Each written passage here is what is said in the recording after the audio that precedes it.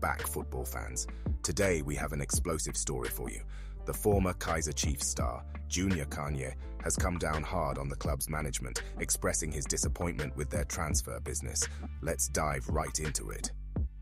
In a recent interview with Sowetan, Junior Khanye didn't hold back when discussing Kaizer Chiefs signings this season. Out of the seven new players brought in, Khanye believes that only one of them makes any sense.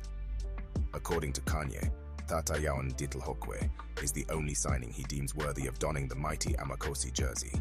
Khanye praised Ditlhokwe's performances at Supersport United, where he formed a solid defensive partnership with Thulani Hlatshwayo, Junior Khanye, on screen. Ditlhokwe, I will give him the benefit of the doubt. He deserves to be given a chance. He did well at Supersport with Thulani Hlatshwayo. They didn't concede so many goals or lose many. Strong words from Khanye. But he didn't stop there. Let's take a closer look at his thoughts on the other signings. Khanye believes that two years ago, Mduduzi Mdantsane should have joined Kaizer Chiefs, considering his similarity to Nkosingiphile Ngcobo. He also questioned the signing of Given Msimango, comparing him unfavorably to former defender of the season, Njabulo Ngcobo. Junior Khanye, on screen. Msimango, I don't think he is better than the former defender of the season, Njabulo Ngcobo.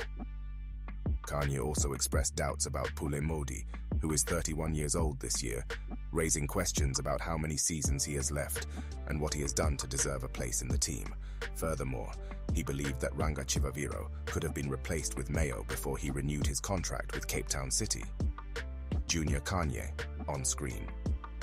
Chivaviro did well for Marumo Gallants, especially in the CAF Confederation Cup, but I thought they could go for Mayo before he renewed his contract with Cape Town City. Junior Khanye, on screen.